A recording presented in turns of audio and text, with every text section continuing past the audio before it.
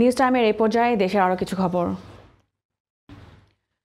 সিলেটের এমসি কলেজের ছাত্রাবাসে গৃহবধূ গণধর্ষণের ঘটনায় ছাত্রলীগ নেতা মাহবুবুর রহমান রনি এবং রবিউল ইসলামকে গ্রেফতার করেছে পুলিশ।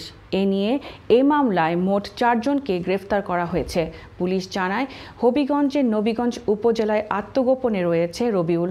এমন সংবাদের ভিত্তিতে জেলা ডিবি পুলিশের একটি দল অভিযান পরিচালনা করে রবিউলকে গ্রেফতার করে।